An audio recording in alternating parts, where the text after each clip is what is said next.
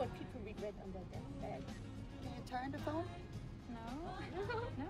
But they were working too much seven out of ten people are regretting that they were throwing away their lives on stupid and pointless jobs. Can I get you anything to drink? Ah, no, we.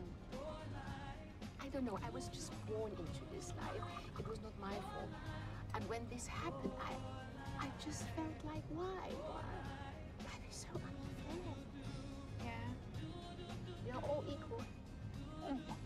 So true. Everyone's equal.